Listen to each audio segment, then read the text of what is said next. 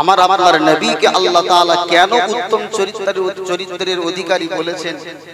কেন নবী সম্পর্কে খাস করে বলেছেন? হাদিসের ভিতরে এসেছে, আল্লাহ রসুল সাল্লাল্লাহু আলাইহি ওয়াসাল্লামের একজন সাহাবী ছিলেন। তিনি আল্লাহর রসুলকে একটু পরীক্ষা করতে চাইলেন, যেহেতু তিনি ইহুদি ছিলেন। ইহুদি মানে তাওরাত কিতাব মান্যওয়ালা। আল্লাহর নবী যে নবী হবেন, তিনি সমস্ত প্রমাণপত্র তাওরাত কিতাবে পেয়েছিলেন। যে মোহাম্মদুর রসুল যিনি নবী হবেন তার আখলাক চরিত্র এমন হবেন তার চাল চলন তার দেখতে কি হবে? পুরো পূর্ণাঙ্গ বিবরণ আল্লাহ তাওরাতের ভিতরে দিয়ে দিয়েছিলেন। জোরে বলুন, সুবহানাল্লাহ। এখন আল্লাহ রসুলের এই সাহাবি দুটো জিনিস নবীর ভিতরে খুঁজে পাই নাই। এই দুটো জিনিস পেলেই ইসলাম ধর্মটাকে কবুল করে নেবে। এক হলো আল্লাহ রসুলের ব্যবহার আর আল্লাহ রসুলের শত্রু যারা, আল্লাহ রসুলের সঙ্গে যারা খারাপ ব্যবহার করে, তাদের সঙ্গে কেমন আচরণ মোহাম্মদুর রসুল করে, এই দুটো জিনিস তিনি প্রমাণ পেলেই মুসলমান হবে। কিতাবে ভিতরে লেখা আছে, আমার আপনার নবী হাবিবি দো জাহান সাইয়্যিদুল কাওনাইন, ইমামুল মুরসালিন, রাহমাতুল লিল আলামিন, ইমামুল আম্বিয়া, মুহাম্মাদুর রাসূলুল্লাহ। নবী আমার মসজিদুন নববীতে বসে আছেন। এমন সময় একজন আল্লাহ রাসূলের সাহাবী এসে বললেন, ইয়া রাসূলুল্লাহ, ইয়া হাবিবাল্লাহ, হুজুর, আমি একটা এলাকাতে গিয়ে ইসলাম প্রচার প্রসার করবার জন্য আমি তাদের মাঝে এলান করেছিলাম। ও আল্লাহ পাকের বান্দারা, ও আল্লাহ পাকের বান্দারা, তোমরা যদি আল্লাহর ধর্ম ইসলাম ধর্মটা মোহাম্মদুর রসুলের আনিত ধর্মটাকে যদি কবুল করে নাও, তাহলে আল্লাহ তোমাদের থেকে, তোমাদের মাঝখান থেকে আল্লাহ পাক অভাবটাকে দুর্ভিত করে দেবে। ইয়া রাসূলুল্লাহ, ইয়া আমার কথা শুনে তারা উদ্বুদ্ধ হয়ে ইসলাম ধর্মটাকে কবুল করে নিয়েছিল। ইয়া হুজুর। কিন্তু না না না, তারা এখন বড় অভাবগ্রস্ত হয়েছে। তারা এখন বড় অভাব অনাটনের ভিতরে পড়ে গিয়েছে। হুজুর, আমার মনে প্রবল আশঙ্কা জাগছে। তারা যদি এই অভাব অনাটনের ভিতর আর কিছুদিন জীবনটা অতিবাহিত করে।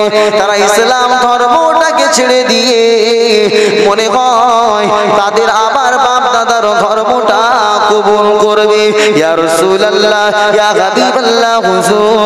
আপনি আর বিলম্ব করবেন না, আপনি আর দেরি করবেন না। ইয়া ইয়া তাড়াতাড়ি কিছু টাকা পয়সার ব্যবস্থা করে দেন। তারা যদি এই অভাবের ভিতর দিয়ে আর কিছুদিন জীবন কাটায়, তারা মুসলমান হয়তো আর থাকবে না। আল্লাহ নবীর সম্মুখে যখন সাবি বর্ণনা করলেন, ও ভাই জানেরা ও রসুলেরা, শেখেরা, আল্লাহ রসুলের কাছে তো পয়সা চাওয়া হলো। কিন্তু আমার আপনার রসুল তো, আমার আপনার রসুল তো সাধারণ কোনো নেতা নয়। আমার আপনার রসুল তো আমাদের সমাজের মতো লিডার ছিলেন না। আল্লাহ রসুলের কাছে সব সময় কোটি কোটি কোটি কোটি টাকা মজো থাকতো।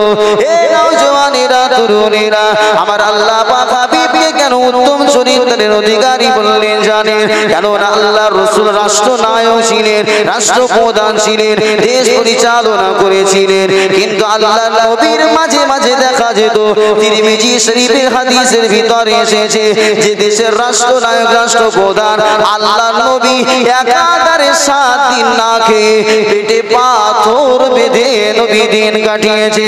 এ আল্লাহ পাক রব্বুল আলামিন হাবিবকে আল্লাহ সব কিছু অপা দিয়েছিলেন। আমার রাসূল যদি চাইতেন, আল্লাহ সব কিছু তার কদমে হাজির করে দিতেন। না না না, কিন্তু আল্লাহ নবী আল্লাহর কাছে কখনো টাকা পয়সার জন্য দোয়া চাইতেন না। আল্লাহর কাছে কখনো ধনী হবার জন্য দোয়া চাইতেন না। এ রাসূলের আশিকেরা, বরং হাদিসের ভিতরে লেখা আছে আল্লাহ নবী আল্লাহর কাছে যখনই দোয়া চাইতেন আল্লাহুম্মা হাইনি মিসকিনা ওয়া আমিতিনি মিসকিনা ওয়া হাসুরনি ফি জুমারাতিল মাসাকিন فقالت عائشة لما يا رسول الله إنهم يدخلون الجنة قبل أغنيائهم بأربعين خريفا الله نبي الله কাছে দোয়া চাইতেন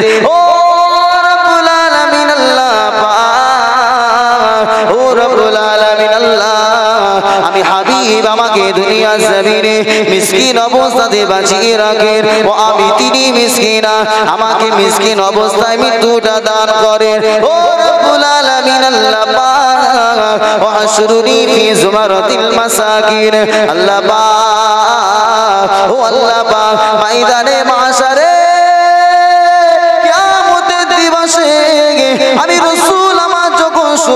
আমার যখন হাসুর নাসরটা করবেন রবুল আলমিন আল্লাহ আমার হাসুর আর নাসরটা গরিব মিসকিনদের সঙ্গে করে দেবে, জোরে বলুন নবী এত গরিব পেটে পাথর বেঁধেছেন, খাওয়া হয় নাই। সেই নবীর কাছে পয়সা চেয়েছেন কে? রসুল সাহাবিয়া রসুল্লাহ কিছু অর্থের ব্যবস্থা করে দেন। নচেত আপনার ওই সাহাবিগুলো হয়তো আপনার ইসলাম ধর্মটাকে ছেড়ে দিতে পারে। বাবজি আমার, যে হাদিসটা বলছিলাম আমি শেষ করি। আল্লাহ পাক রব্বুল আলামিনের কাছে দোয়া চাইতেন, আল্লাহ আমাকে মিসকিন গরিবদের সঙ্গে হাসর নাসর করবেন। আম্মা জান আয়েশা প্রশ্ন করতেন ফাকালাত আয়েশাতু লিমা ইয়া রাসূলুল্লাহ। আপনি এমনটা কেন দোয়া করেন? আল্লাহ নবী জবাবে বলেছিলেন ও বিবি আয়েশা ও বিবি আয়েশা আমি কেন এমন দোয়াটা করি তুমি কি জানো? ইন্নাহুম ইয়াদখুলুনাল জান্নাতা ক্বাবলা আগনিয়াইহিম বিআরবাঈনা খরিফা আও কামা ক্বালা আলাইহিস সালাতু ওয়াস সালাম ও বিবি আয়েশা ও বিবি আয়েশা কিয়ামতের দিবসে আল্লাহ পাক, আল্লাহ তাআলা আল্লাহ তাআলা, আল্লাহ পাক ধনীদের 40 বছর আগে আল্লাহ পাক গরিবদেরকে তার দয়ার জান্নাত আতা করে দেবে। একটু সুবহানাল্লাহ এই জন্য আমি এই দোয়াটা করি আল্লাহ নবী গরিব আল্লাহ নবীর কাছে টাকা পয়সা মৌজুদ থাকতো না। আল্লাহ নবীর কাছে যখন টাকা চাওয়া হলো আল্লাহ রসুল বললেন আমার কাছে তো তেমন কিছু নাই, যে আমি তাদেরকে সাহায্য করব। সঙ্গে সঙ্গে আল্লাহ নবীর যে সাহাবি নবীকে পরীক্ষা করবার জন্য সামনে ছিলেন, দুটো কারণ খুঁজে পেলেই নবীর হাতে হাত দিয়ে কি করবেন? মুসলমান হবেন। ওই সাহাবি আল্লাহ রসুলের হাতে একশো স্বর্ণ মুদ্রা বাড়িয়ে দিলেন, জোরে বলুন। একশত স্বর্ণ মুদ্রা বাড়িয়ে দিয়ে আল্লাহ নবীকে বললেন, ইয়া রসুল আল্লাহ হাবিব আল্লাহ হুজুর, আপনি এই স্বর্ণ মুদ্রা আপনার ওই সাহাবায়ে রামদের কাছে পাঠিয়ে দিন, তাদেরকে সাহায্য করুন, তবে এর বিনিময়ে আমাকে কিন্তু খেজুর দিয়ে দিতে হবে। আমি আপনাকে এটা ধার দিলাম। ধার স্বরূপ দিলাম।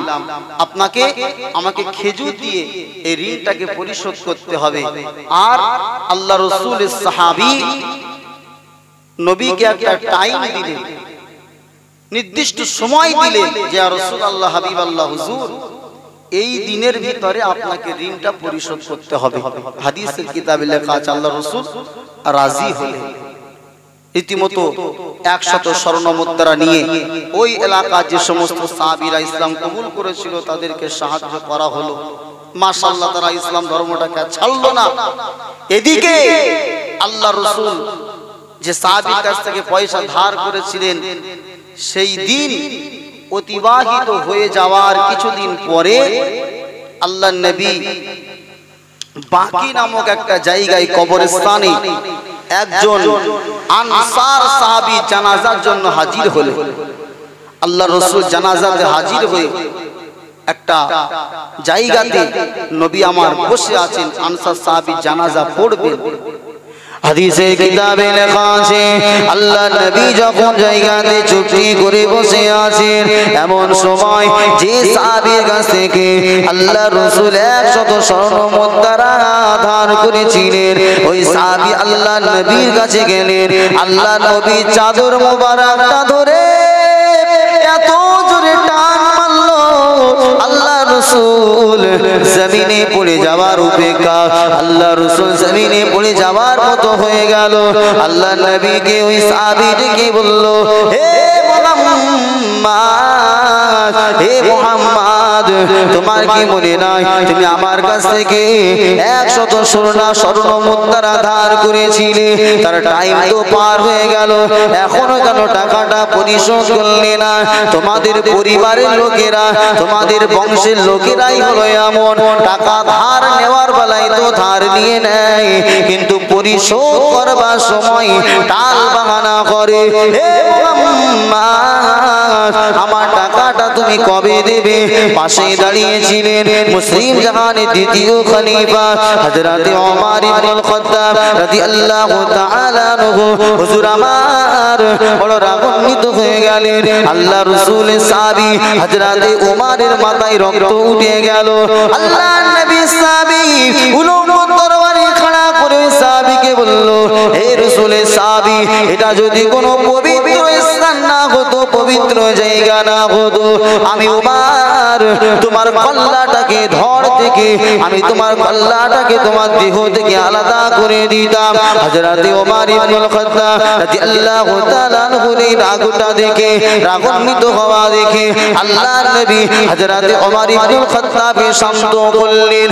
ও বাবা উমার, ও বাবা উমার, তুমি রাগান্বিত হয়েও না, তুমি এত রাগান্বিত হয়েও না, কারণ আমি নবীর কাছ থেকে পয়সা নিয়েছিলাম, তার সময়টা হয়ে গেছে, তাই আমি উমা, আমি নবী তোমাকে জানিয়ে দিলাম, ওই ব্যক্তিকে রাগ দেখিয়ে তাকে তুমি ভালোভাবে বুঝাতে পারতে।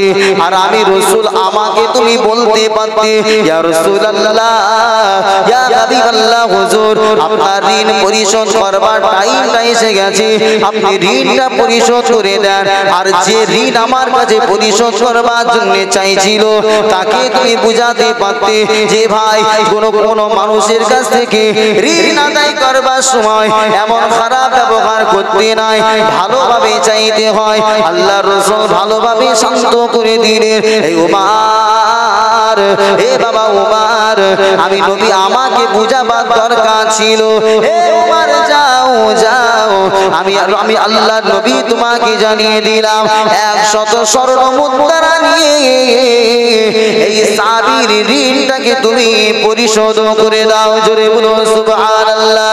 হে তরুণেরা আল্লাহ রাসূল নিয়ে যখন উমর হবার মনস্থ করলেন আল্লাহ নবী আবার বললেন হে বাবা উমর হে বাবা উমর, আমি রাসূল তোমাকে জানিয়ে দিলাম, আমার কাছে যতটা খাজুর সে পাবে, তার থেকে আরও বেশি কিছু খাজুর তুমি তাকে দিয়ে দেবে, কেননা তুমি তার উপরে তার কারণে আমি নবী বললাম, তার পাওনা কৃত খেজুর থেকে আরও বেশি কিছু খাজুর তাকে দিয়ে দেবে। জোরে বলবেন না, সুবহানাল্লাহ। বাবাজি, আমার মনে করুন আল্লাহ নবী তখন রাষ্ট্র নায়ক ক্ষমতা নবীর হাতে, বড় বড় পাওয়ার সাহাবি যারা পাওয়ারফুল সাহাবি যারা সব নবীর হাতে। তো আল্লাহর নবী তো মনে করলে ওই সাহাবিকে মেরে শটান করে দিতে পারত না। এই তুমি টাকা পাও ঠিক আছে, কিন্তু তুমি আমার সঙ্গে এমন ব্যবহার কেন করলে, যেটা আমাদের সমাজে হয়? আপনি পয়সা দিয়ে কাউকে উপকার করবেন বাপ, মনে ব্যথা নেবেন না। টাকা চাওয়ার সময় খুব কষ্ট করে আমার খুব কষ্ট বাপ সাহায্য করো। তুমি দিলাম উপকার হব? আপনি তাকে উপকার করবার জন্য দিলেন। পয়সা চাইতে গেলে দেখবেন উল্টো গরম নাই। আছে না নেই আমাদের সমাজে ধরে বলুন? পয়সা আপনার কাছ থেকে নিল সে হাওলাত, কিন্তু আপনি চাইতে গেলে উল্টো আপনার উপরে রাগ দেয়। যে পাঁচ হাজার টাকা পাস, যেমন ভাবলি যেন পৃথিবী পাস। আরে পাঁচ হাজার টাকা তো টাকা ঠিক না বেটি? তোমার যে সময় থাকবে সময়ের ভিতর তোমাকে দিতে হবে। কিন্তু আল্লাহ নবীর সঙ্গে দুর্ব্যবহার করেছে। আল্লাহ নবী মনে করলে দিয়ে প্রতিবাদ করাতে পারতেন। কিন্তু নবী বললে, উমা, তোমার উচিত ছিল আমাকে ভালোভাবে বুঝানো। কেন আমি তার কাছে ঋণ করেছি, আর ওকে বুঝাতে পারতে ও যেন আমার কাছ থেকে ভালোভাবে টাকাটা আদায় করে, যাও আদায় করে দাও। এখন হাজরত উমার ইবনুল খাত্তাব টাকা পরিশোধ করবে। এমন সময় আল্লাহ রসুলের ওই সাহাবী বলছেন, উমার, তুমি আমাকে চিনতে পারো নাই? তারা নিজের নাম ধরে বললেন, আমি হলাম ওই সাহাবী। আমি নবীকে পরীক্ষা করবার জন্য এটা করেছি যে নবী তার শত্রুর সঙ্গে কেমন ভালো ব্যবহার করে।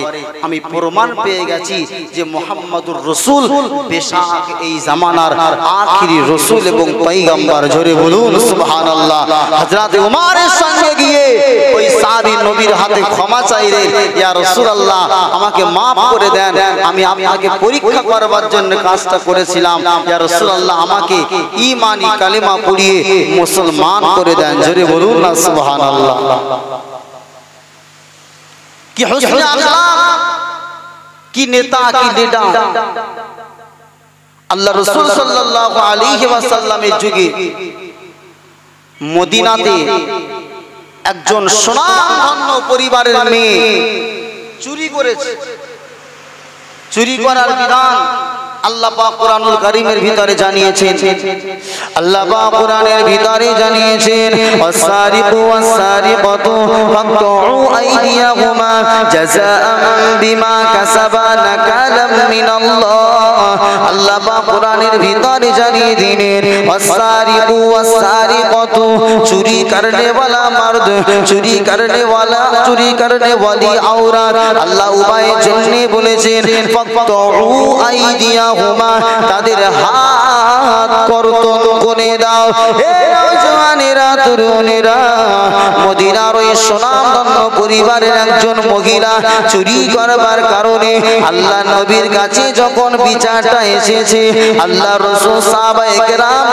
বললেন হে বাবা হে বাবা আল্লাহর কোরআনের বিধান অনুযায়ী তার হাত কেটে